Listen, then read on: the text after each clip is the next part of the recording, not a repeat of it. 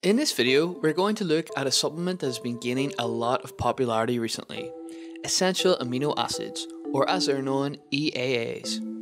We will answer exactly what are essential amino acids and are they worth your hard earned money. In recent months, branched chain amino acids, or BCAAs, have been knocked off their pedestal as a supplement of choice to be sold to the masses. This is largely due to the vast majority of research surrounding them becoming more widely known to the general public. The evidence is mounting. If you haven't already, check out our previous video on branched chain amino acids where we look in depth at the pros and cons of taking this supplement. However, for the supplement companies, something must fill this void. 2020 has been the year of shilling essential amino acid supplements, but what is the difference between an essential amino acid supplement and a branched chain amino acid supplement? Judean People's Front. For the People's Front of Judea. So, what exactly are EAAs? Well, proteins are composed of amino acids, some of which your body can synthesize and others it cannot.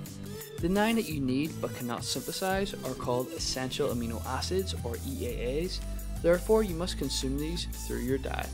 The nine essential amino acids are histidine, phenylalanine, isoleucine, leucine, lysine, methionine, threonine, tryptophan, and valine. These nine essential amino acids are marketed as a pre workout, an intra workout, and a post workout supplement, meaning that supplement companies, depending upon the company, will recommend taking them either before, during, after your workout, or all three.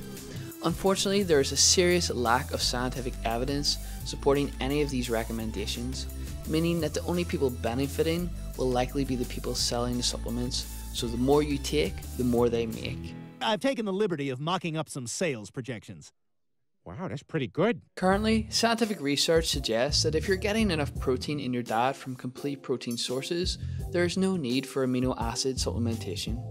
A protein is called complete when proportionally to its overall amino acid content, it has enough of each essential amino acids. The main advantage of animal proteins are that they are mostly complete. But are there any situations where essential amino acid supplementation could be useful? Well, one situation that could justify the supplementation of essential amino acids would be if an athlete is on a very restrictive diet. However, overly restrictive diets are not something that I would ever recommend to any competitive athlete. Vegan athletes are another group that may benefit from essential amino acid supplementation, especially if calories are restricted, as it may be hard for them to obtain sufficient protein and amino acids through their diet alone.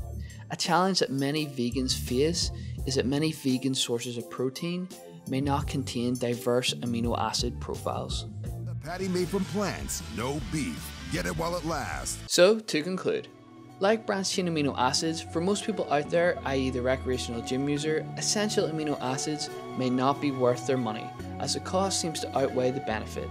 Essential amino acids don't seem to have a systematic benefit if your protein intake is high enough and your diet contains sufficient amounts of complete proteins. As a sports nutritionist, I take a food first approach, meaning that I don't like to recommend supplements if there's not enough scientific evidence to support them. At that, insufficient and complete proteins will never be the optimal choice for any athlete. The supplement industry profits off selling bullshit and trying to keep people ignorant to the reality that making small changes in their diet is usually the answer before opening up their wallet to buy any supplement. So don't believe the hype, do your own research, and stop taking nutritional advice from people who are not qualified.